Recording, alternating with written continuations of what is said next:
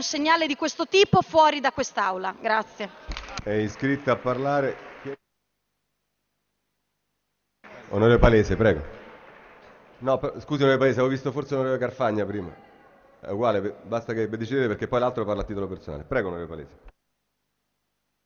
Sì, grazie Presidente. Io la ringrazio per il suo intervento autorevolissimo come sempre, però non è mica possibile cioè, che non ci sia una stretta attinenza come previsto dal regolamento in riferimento agli emendamenti che si discutono. Si scivoli cioè, invece in, in, in, tutt'altre, tutt'altre discussioni cioè, che esulano dalla, da quello che è il merito degli argomenti che, e che poi insomma ci sono anche abbastanza insultanti rispetto a tante persone che non sono presenti qui neanche per potersi difendere. Grazie. La ringrazio. Onorevole eh, Carfagna, a titolo personale.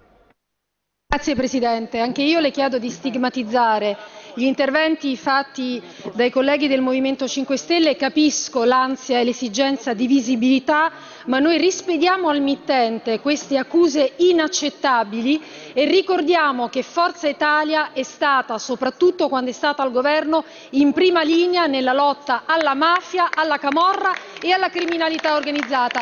Quindi non cadiamo nelle provocazioni dei colleghi del Movimento 5 Stelle, ma le chiediamo, Presidente, di stigmatizzare quanto è stato detto. Grazie.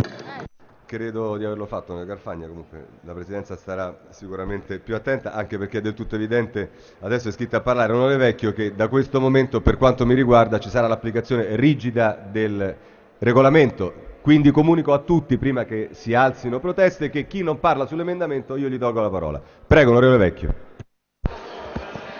Grazie signor Presidente. Io non so se sarò fuori tema, ma il tema del quale voglio parlare è la mafia e l'antimafia.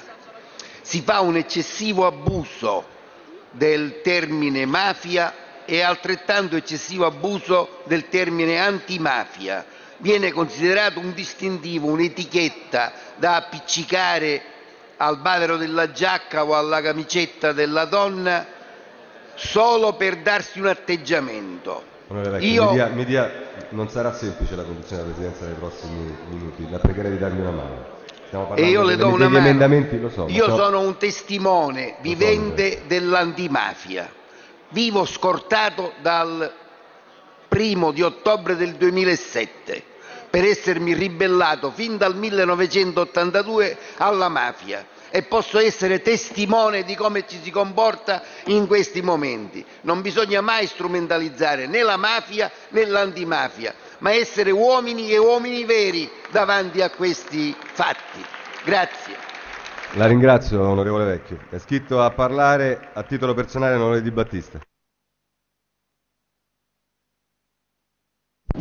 Presidente, mi scusi, come si può censurare l'intervento di qualche parlamentare in materia di 416 ter se si parla di Cosentino? Come può lei ritenere che siano argomenti eh, dissimili?